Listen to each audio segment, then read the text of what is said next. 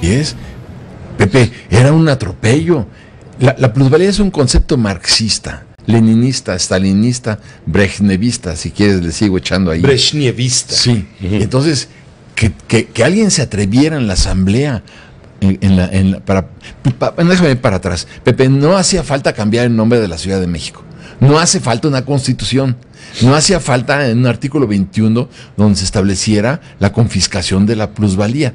Cuando vi la confiscación de la plusvalía en el artículo 21 ¿Te acordaste de Stalin? de Stalin y de Lenin y, Y de, de- todos estos que tú quieras, ¿no? Hasta de Fidel. Bueno, Ni siquiera de Fidel. eh, Ya de Fidel ya no, no. No. bueno. Pero, pero lo importante sí era ver qué, qué- en qué consistía la confiscación de la plusvalía. Esto significaba que, como estaba redactado en ese momento, que si tú habías adquirido un bien, digamos, en un millón de pesos hace 10 años Sí. y hoy valía 5, Sí. el gobierno de la Ciudad de México, gobernado por marxistas, leninistas, stalinistas, brejnevistas, tenían el derecho a confiscar Por el. Soviet. Por el Soviet, el Soviet del DF.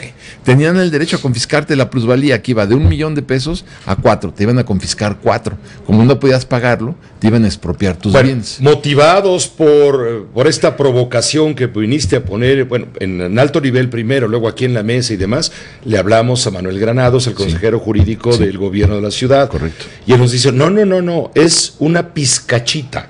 Le vamos a dar una mordidita a la plusvalía, porque es eh, legal, es social, es el beneficio de todos, etcétera. Bueno, pues al día siguiente ya ni eso. Al día siguiente el licenciado, el doctor Miguel Ángel Mancera ordenó, suplicó, rogó de la manera más respetuosa y atenta posible a los constituyentes del- de la Ciudad de México que, eh, que de plano quitaran el famoso artículo 21 en la fracción que corresponde. Porque era un atentado en contra de la propiedad privada.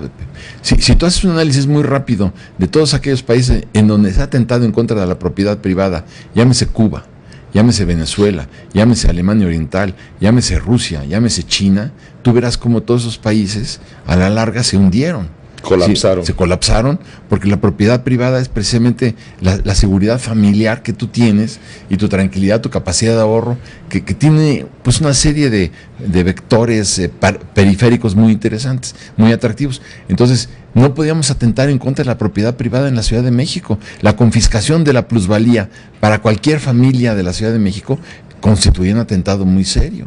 Entonces, por eso hab- habría que oponerse. Y, y bueno, nos opusimos y afortunadamente ya lo modificaron.